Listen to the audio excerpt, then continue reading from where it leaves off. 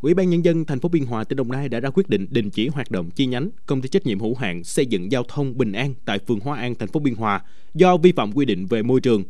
Cụ thể, theo quyết định của Ủy ban nhân dân thành phố Biên Hòa ban hành, xử phạt vi phạm hành chính 65 triệu đồng đối với công ty trách nhiệm hữu hạn xây dựng giao thông Bình An có địa chỉ trụ sở tại số 11B đường Quách Vũ, phường Hiệp Tân, quận Tân Phú, thành phố Hồ Chí Minh do ông Nguyễn Quốc Bình, giám đốc công ty đại diện pháp luật đã thực hiện hành vi vi phạm hành chính, hoạt động trạm trộn bê tông nhựa nóng mà không có giấy phép môi trường theo quy định đồng thời áp dụng biện pháp xử phạt bổ sung, đình chỉ hoạt động nguồn phát sinh chất thải mà không có giấy phép về môi trường của chi nhánh công ty trách nhiệm hữu hạn xây dựng giao thông Bình An tại tổ 20, khu phố Cầu Hang, phường Hóa An, thành phố Biên Hòa, thời gian 4 tháng rưỡi. Ngoài ra yêu cầu công ty buộc di dời cơ sở chi nhánh đến địa điểm phù hợp với quy hoạch được cấp có thẩm quyền phê duyệt. Nếu quá thời hạn theo quy định không chấp hành thì cưỡng chế theo quy định.